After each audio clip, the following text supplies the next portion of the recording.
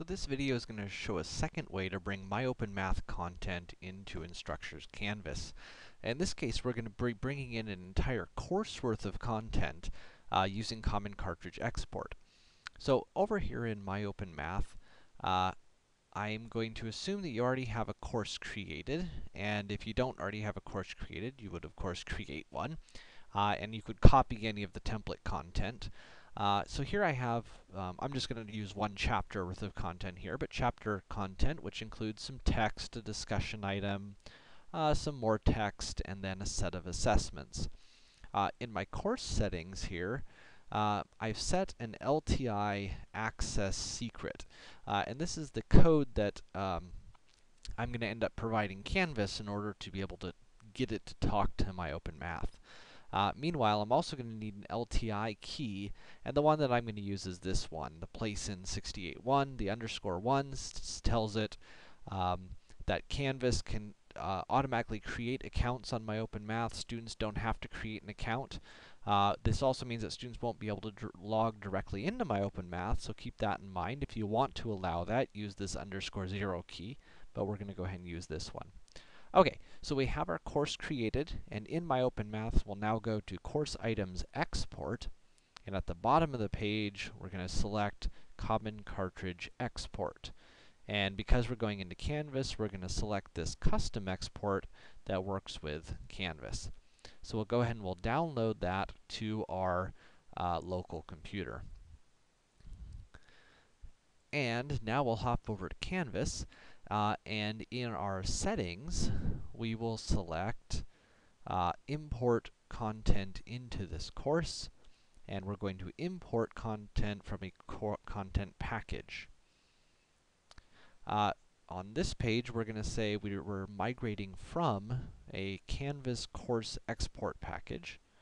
And now we're going to go ahead and select that file that we just downloaded from my MyOpenMath and we'll go ahead and click Import Course.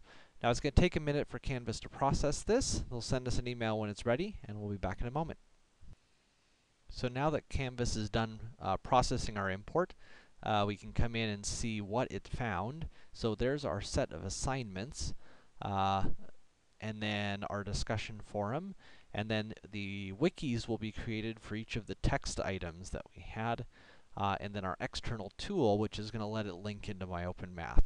So we'll go ahead and import all of this, and it's going to take Canvas a second to import this. Okay, so now that Canvas is done importing our content, let's click on Modules here to see what that looks like. And you'll notice that there's our Chapter 1 content with um, all of our uh, text information, the videos which were part of the text, and there's the assignment that we had uh, so there's our homework assignments and our discussion forum. Now the homework assignments won't work yet because we still need to configure our link to MyOpenMath. So let's click on Settings, uh, and then we will select uh, External Tools.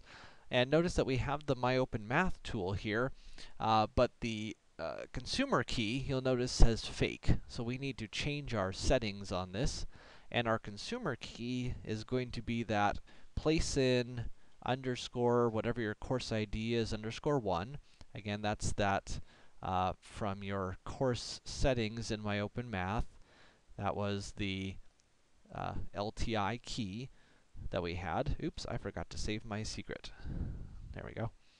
Um, so the, it's that key there, and then our secret is going to be our shared secret, and we save those settings. So now, in our module, if we select, say, homework 1-1, uh, now the very first time we do this, um, Canvas is going to ask us to uh, link our accounts between MyOpenMath and Canvas. I've already done that, and so it took me directly into Homework 1.1. Uh, and as you can see, here is Homework 1.1 from MyOpenMath embedded into Canvas. Uh, and when students do this, the grades will automatically be returned and recorded for the assignments in, um, in Canvas.